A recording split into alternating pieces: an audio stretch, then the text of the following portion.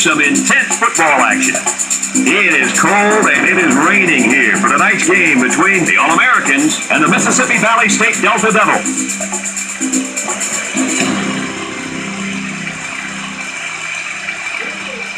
And here come the Delta Devils.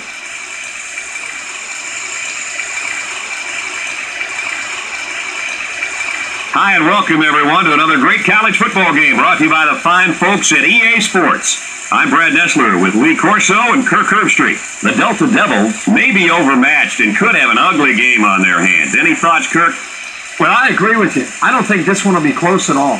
The away team has a big time quarterback who can really put up some big numbers against his defense. I look for him to have an outstanding game spreading the ball to his receivers. Lee, look for a big blowout here. Yep, no question, Kirk.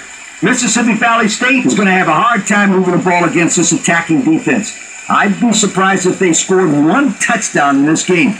They're going to lose this one big. Thanks, guys. Let's head down to the field. The two teams are lined up for the coin toss.